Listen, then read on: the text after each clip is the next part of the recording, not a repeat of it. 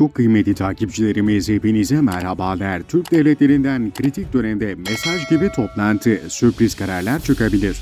Değerli izleyenler, Türk Devletleri Teşkilatı Devlet Başkanlarının 10. zirvesi Kazakistan'ın başkenti Astana'da yapılacak. Kazakistan'a gidecek olan Cumhurbaşkanı Recep Tayyip Erdoğan'ın katılımcılara hitap edeceği, liderlerle ikili görüşmeler gerçekleştireceği belirtildi.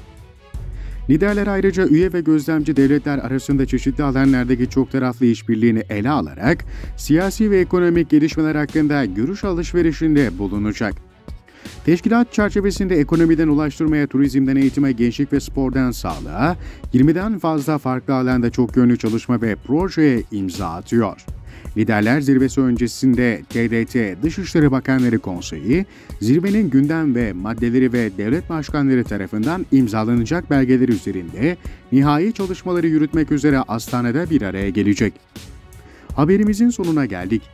Sizlerden kanalımıza abone olmanızı, videolarımızı beğenmenizi ve nokta dahi olsa yorum bırakmanızı rica ediyoruz. Bir sonraki haberde buluşmak üzere, hoşçakalın.